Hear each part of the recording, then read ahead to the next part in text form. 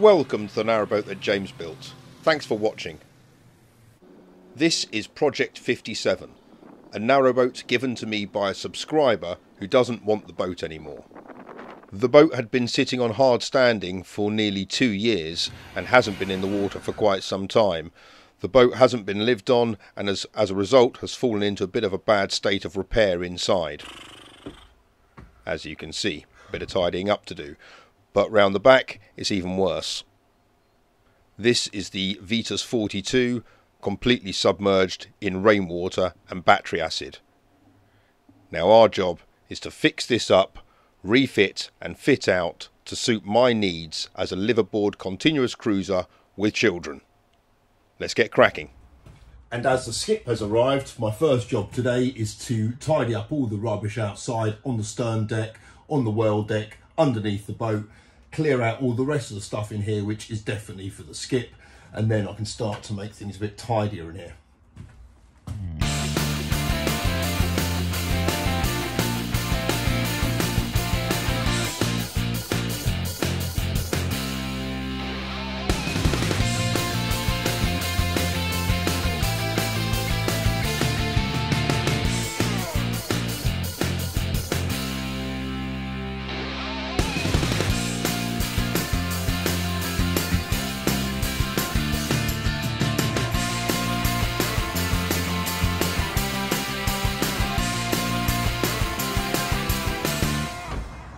Next up, I need to build this out. So, I've got this from Ralph. So that's got to be submerged and then that'll spout it out.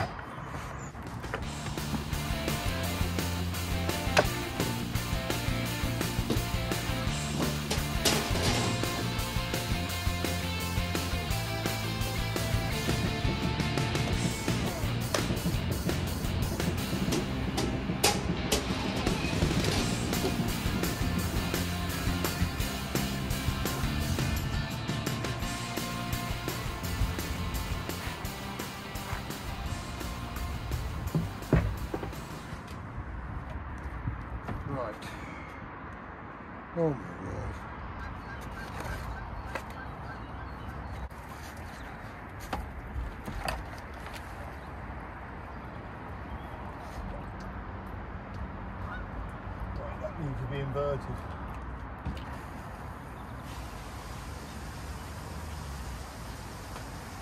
It's straining.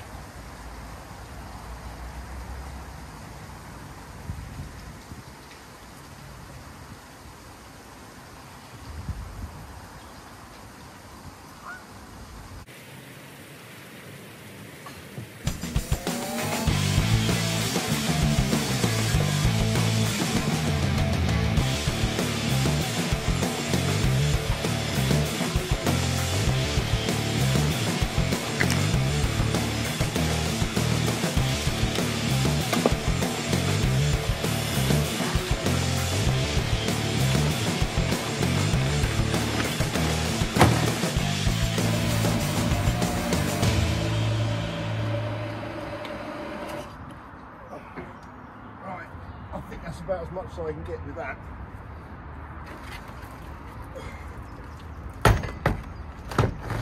Now I'll try with the wet vac.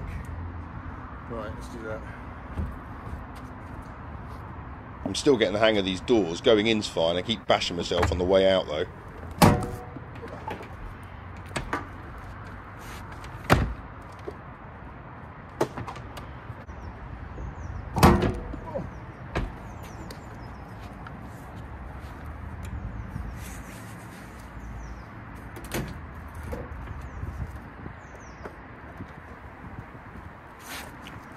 And after realising I had it on blow, not suck, I was now ready to start drying out this engine bilge, finally.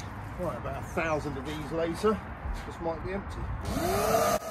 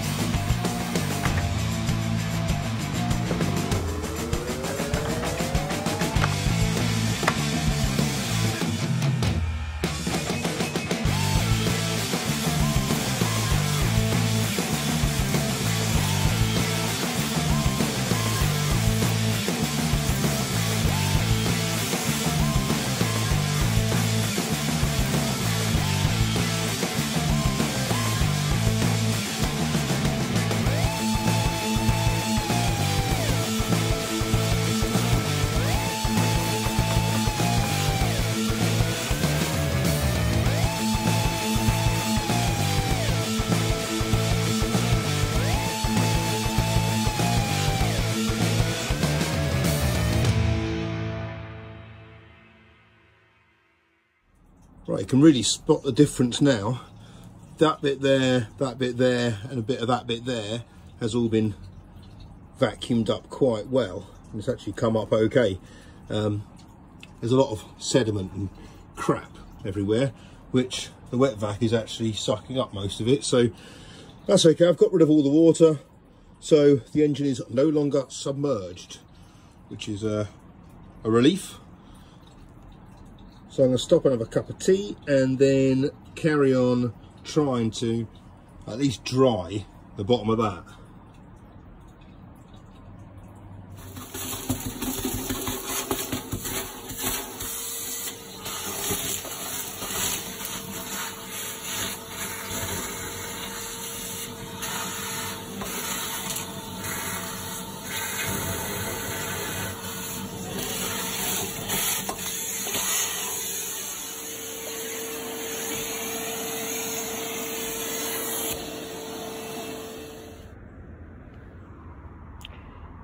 This is my first time and your first time of seeing this Vetus 42 not submerged in water. Um, the engine bay is actually pretty nice. It's quite spacious in there. There's a lot of weights on that side. That was over there. So obviously that was used to trim the boat. But this hasn't been in the water for ages. So I'll take all that out and we'll see what see if we need to trim it afterwards. There's the manufacturer's badge. I'll give that a clean up.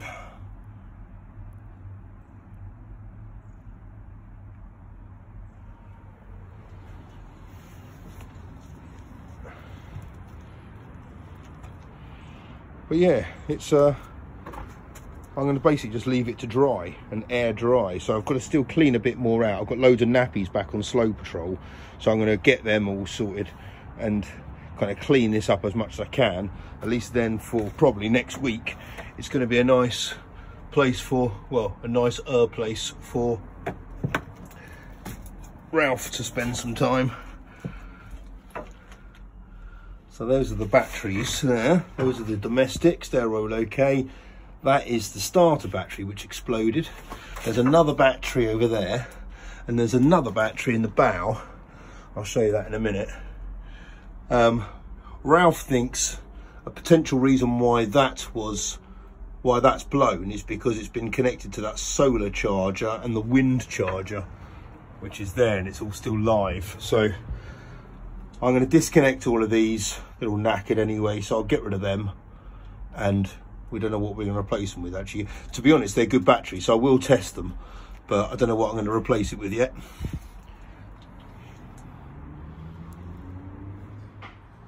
Right i really am making some progress now. So all of the owner's stuff is stowed away underneath the bed. Everything on all the tools and stuff which are useful and bits and pieces are on top of the bed. So now i can get rid of this desk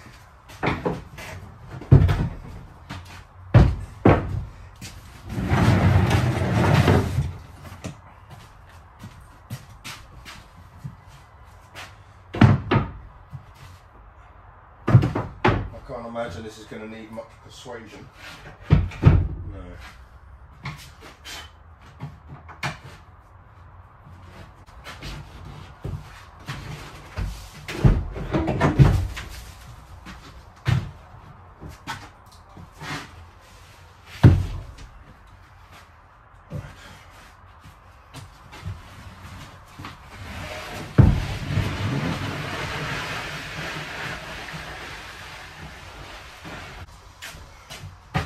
Right, that's better.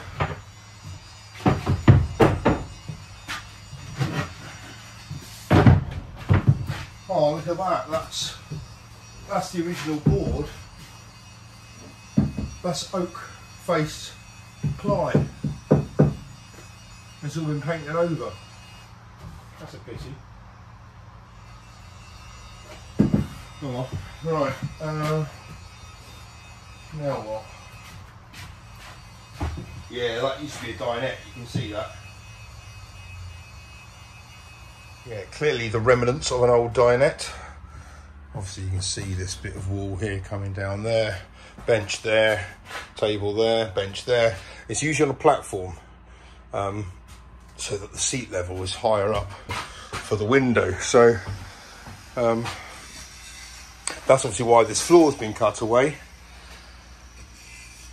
Now this is a nice oak floor, kind of all the way through. So my plan will be to try to get this good again, sand it all back and make it nice, but that's a long time away. Um, right, it's getting there. Right, so far so good.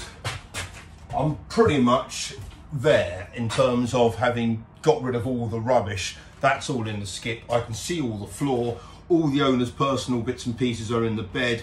So, uh, and all the tools are now on top of the bed. So there's a good chance now to kind of get my head around how this boat's been put together and how the systems work. Uh, which brings me on to five things I love about this boat and five things I dislike. So dislike number one, this ceiling. It's tongue and groove. I don't have a problem with tongue and groove ceilings on narrow boats per se because it enhances the length of it. It does look good. Only if they're installed properly, which this one is not very good. Join, join, join, join, join, join, join, join, join, join. Uh, where's the join here?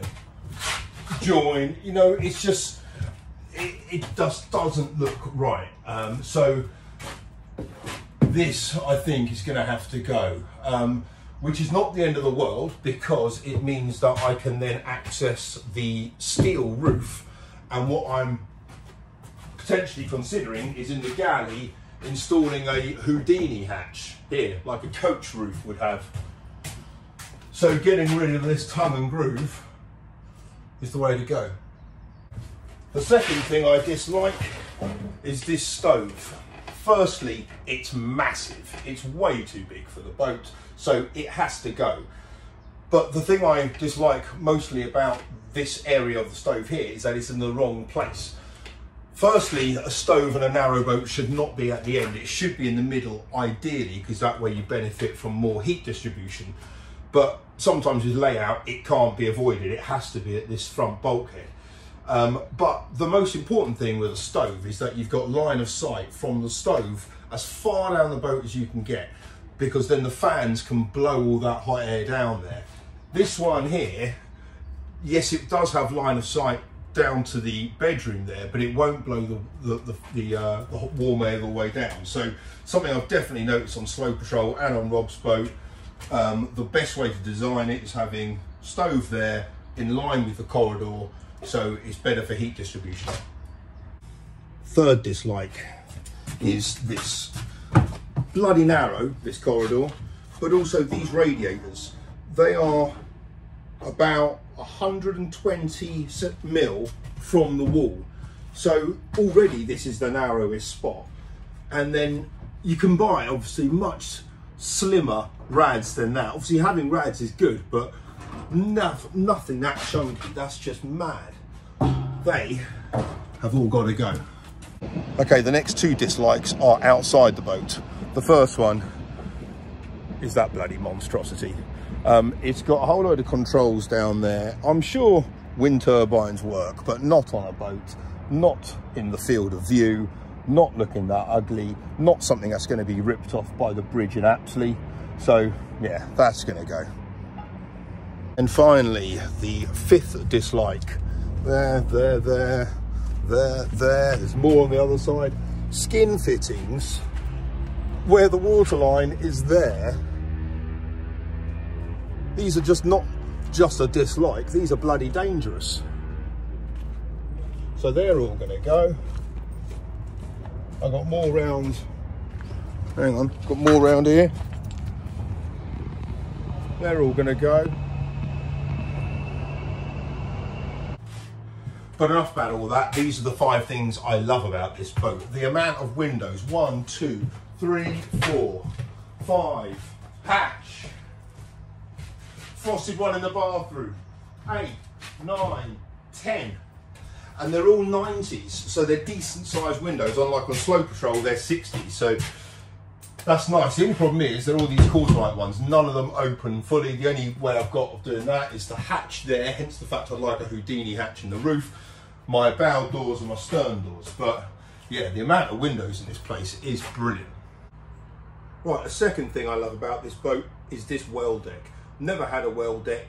Having an outside space at the front of the boat for what could be maybe three people or me and the kids or whatever is absolutely brilliant. We use Robs all the time, so I'm really happy about having this. Having a proper gas locker in the front there for two 13 kilogram back gas cylinders is you know really useful as well. But yeah, having a well deck is great. I've only obviously got a stern deck on my boat, but this boat not only has the well deck, but also has this massive stern deck.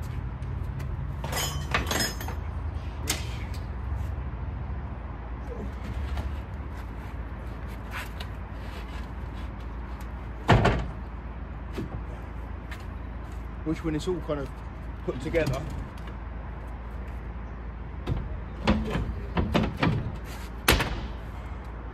is great. Right, the next thing I love about this boat is the height of the internal and the dimensions. Um, the ceiling height is really good, it's much better than Slow Patrol's, but I've done a config uh, on paper on the boat back at Slow Patrol, and I think I've come up with an internal configuration to get in two bedrooms, one bathroom, galley, dinette, lounge. So the dimensions of this boat could be absolutely perfect. Right, the next thing I love about this boat is its lines and its shape. Price Fellows have really put some thought and some attention to detail here and it's lovely. So round at the stern of the boat, got some decent hooks there to anchor on the, the rear bumper, but also on rudders you tend to have a hole at the top to chuck a rope through if needed. Look at how old this one is. Isn't that beautiful?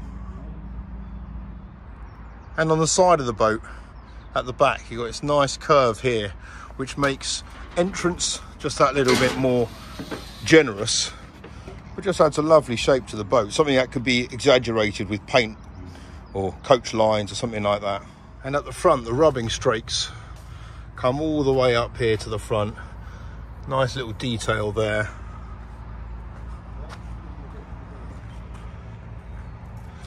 And quite pointy. I know that sounds a bit silly but certainly compared to slow patrol but it just has a nice shape to this bow. Really nice shape. Right the fifth and final thing i love about this boat is the fact that the floor is dry. Um, as i said it's got two floors it's got a subfloor here and then an oak floor on top but i've accessed the bilge it's all dry and the boat has been spray foamed so in terms of like the foundations you've got a good steel it's all dry and it's been spray foamed it's been lined okay. Is just ply. It's all been painted. It's okay. I mean, shame because this is oak face ply. It'd been nice to have continued that throughout the boat. I could sand it back, but that oak face ply is the veneer is really quite thin, so I probably won't bother. I'll just paint it. But in terms of like the actual, you know, project ahead of me, it's nothing like as bad as Slow Patrol was. So that is really, really good news. Those doors need some attention.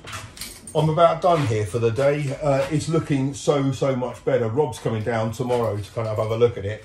So at least he can get around it and kind of see it for what it is. But it's gone pretty good. The next thing I've got to do is get rid of that stove. So it's huge. It weighs a ton. Um, but we can bring the forklift up, put it on a pallet, and the forklift can come up to the well deck there and we can take it out the well deck doors. So that's a bit of a relief because I didn't fancy taking that thing down the steps. Um, so, uh, and we'll have to sell that. It's brand new, never been used, but yeah, we'll have to sell that. Um, don't know what I'm going to be doing about heating yet. Don't know what I'm going to be doing about electrics yet. Don't know what I'm going to be doing about water yet. Uh, I'm going to start to investigate water, water tanks under the well deck. Uh, the engine is water cooled, so if the engine is going to start and stuff. So we'll find that out on Monday because that's when Ralph's going to hopefully start to have a look at that. So if the engine works and it's water cooled, that means a calorifier. Um, but yeah, anyways, loads of things to think about still. Um, but I'm going to go back to Slow Patrol a bit no now and start working on more of the layout of the boat because, as I said, I think I can get it to the point where I've got two bedrooms, bathroom, lounge, kitchen, dinette, and two decks. See you next time. Take care. Bye bye.